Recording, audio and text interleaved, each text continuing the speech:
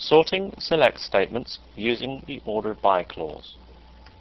The order by clause. Here is a syntax diagram once again of the select statement, this time including the order by clause. Note all the options. First of all, you can order by a column, an expression, or a position of the column in the select statement. We'll get to that at a later stage. At the moment, we're going to concentrate on ascending or descending and nulls first or last. What do we mean by ascending or ASC? By ascending, we mean that data is sorted in ascending order.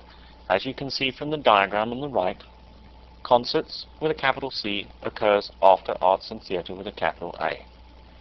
Let's do an example.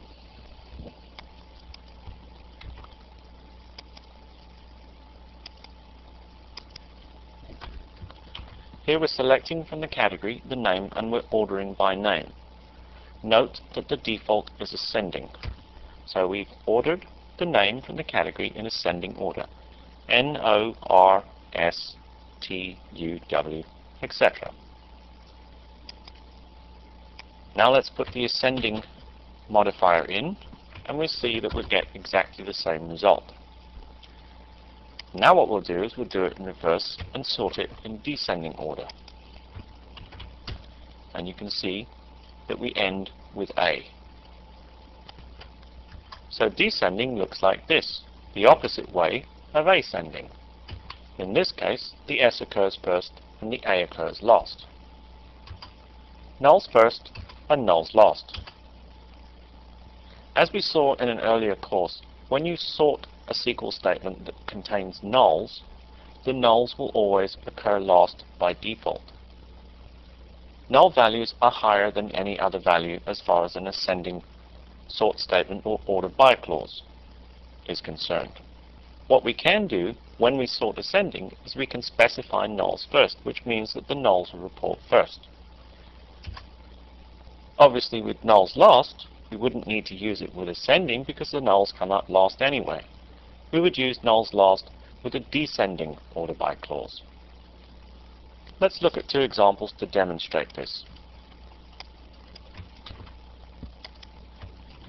Here I'm selecting the show date from the show table. I'm using the default ascending order and I'm putting nulls first. The nulls are not at the bottom. They're now at the top.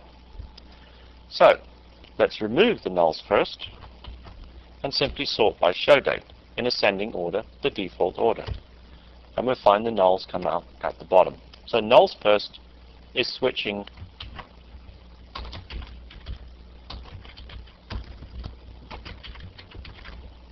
the null values from the end to the beginning of the sorted sequence.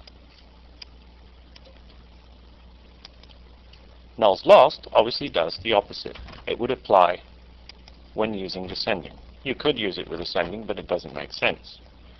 So sorting show date in descending order will have all nulls appearing first. You can change that behavior by simply specifying nulls last, and then the nulls will appear at the end in the descending order.